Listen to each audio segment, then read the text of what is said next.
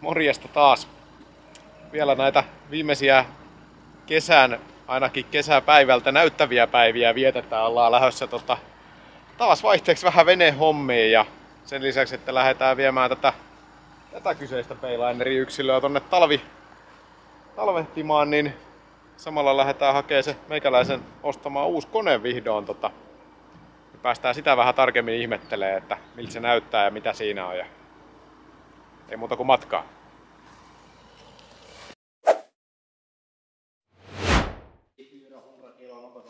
Jaha.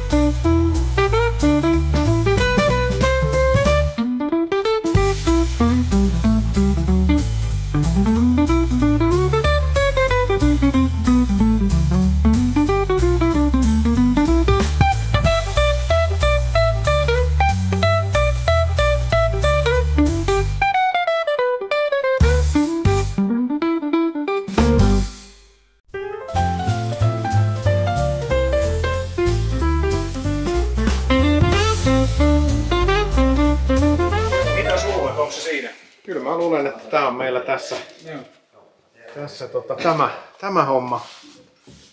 Tota, varmaan tulee Saadaan, että tuleeko sillä enemmän vauhtia nyt tässä kyydissä kuin tota, sitten, sitten tulevaisuudessa veneessä.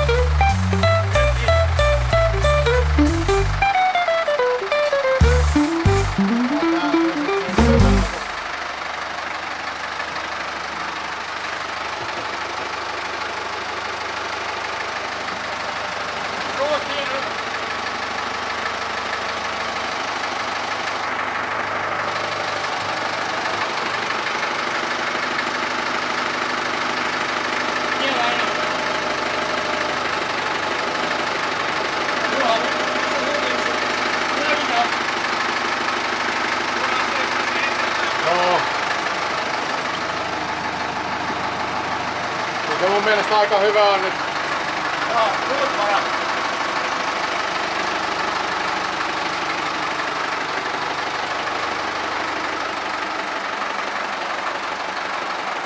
Se on vähän etupainoinen, mutta se ei tuu, tuu sinne taemmasta.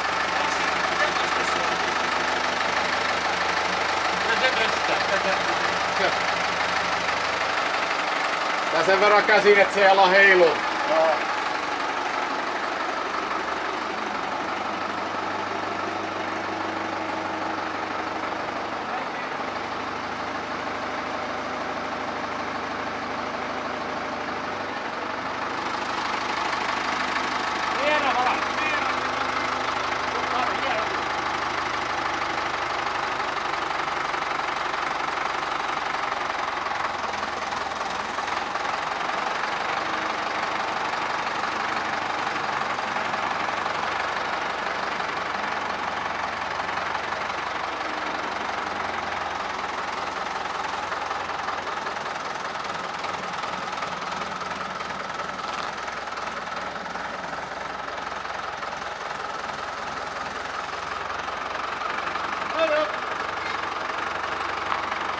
やったのですか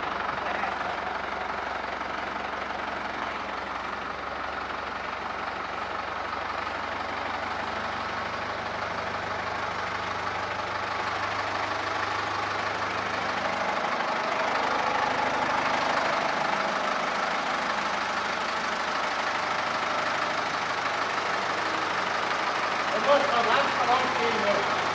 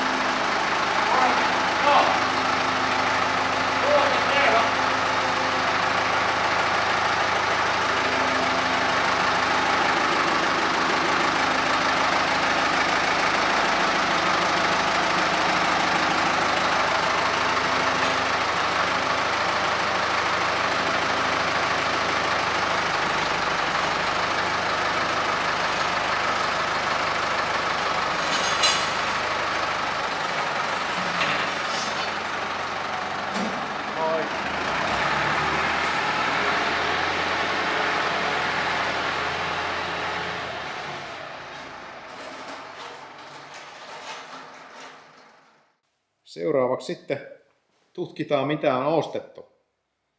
Eli ollaan saatu tänne talvisäilytyspaikkaan tämä kone tuotua ja aloitetaan vaikka täältä päästä. Täällä on MSD-sytytystä. Ei ole ehkä ihan tuoreita vuosimallia, mutta, mutta tota, mitä tutkin, niin vaikutti ihan pätevältä kamppeelta. Öö, Sitten tässä näkyy huohotusputkien paikat. Niitä ei ole tuolla käytössä, vaan huohotus tulee tänne erilliseen huohotuspönttöön, purkkiin.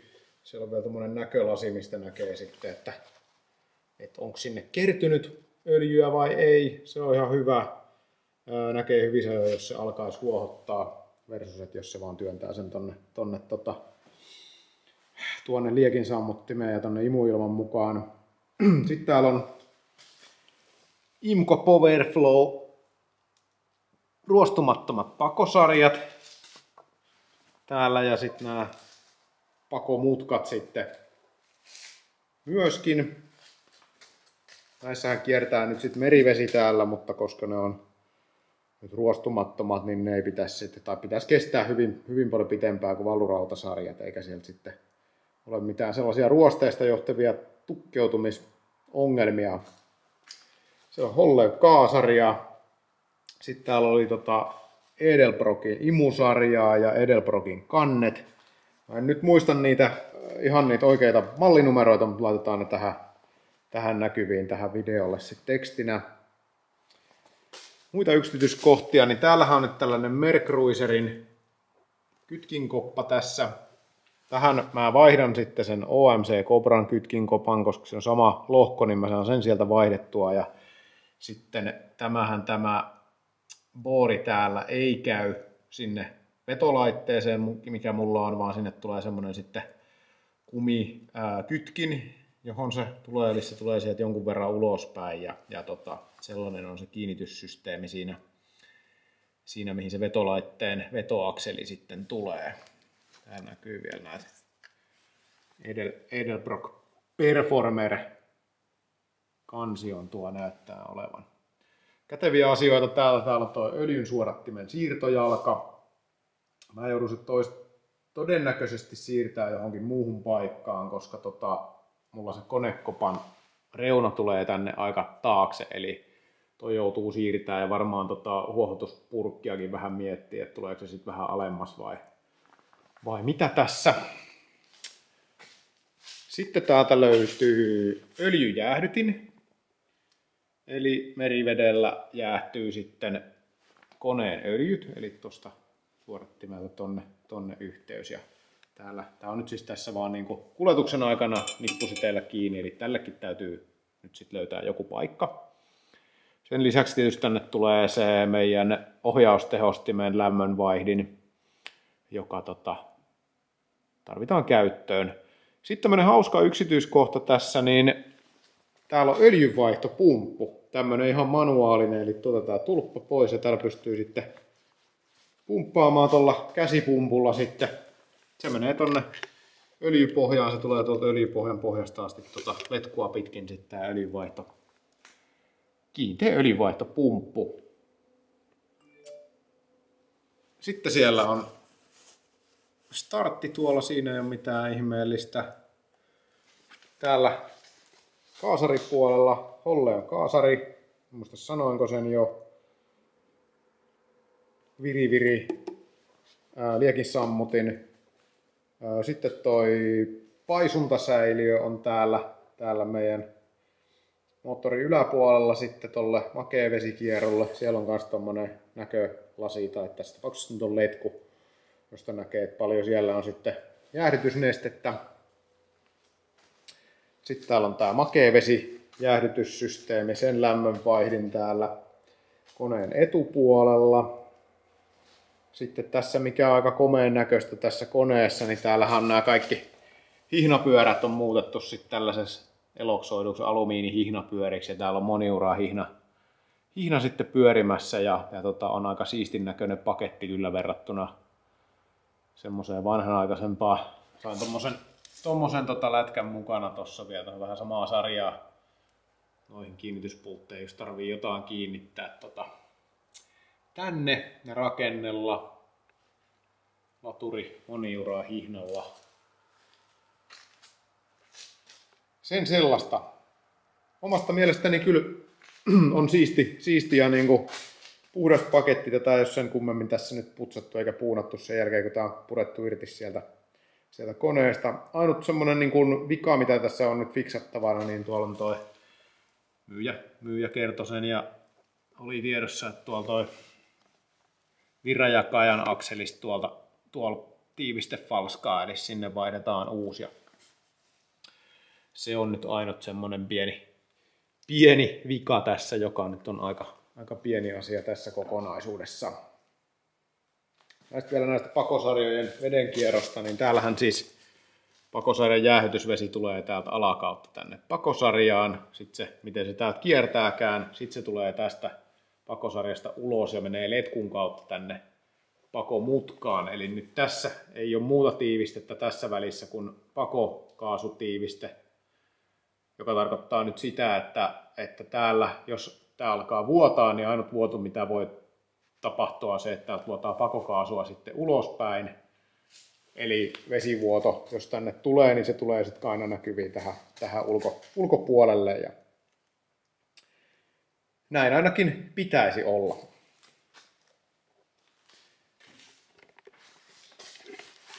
Siinäpä oli nyt sitten tämä moottorin esittely.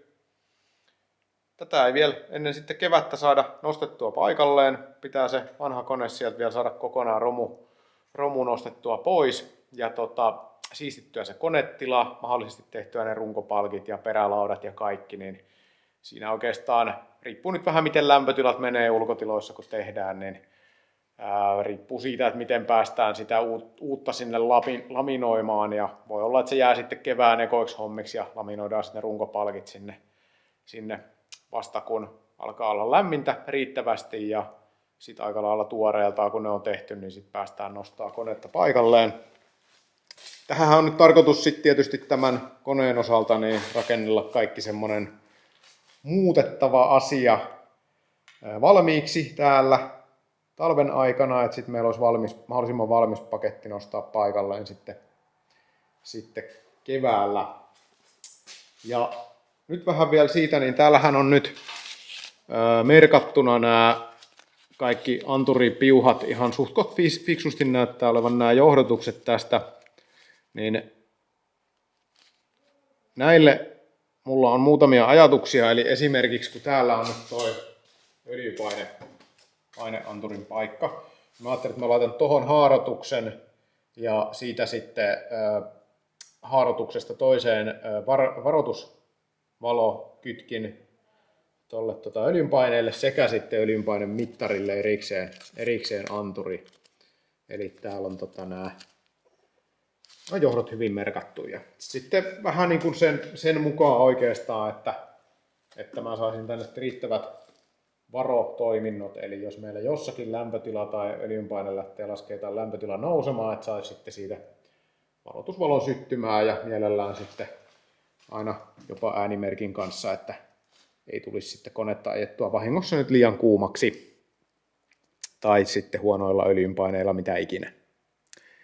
Tämmöisiä suunnitelmia nyt tässä vaiheessa oikeastaan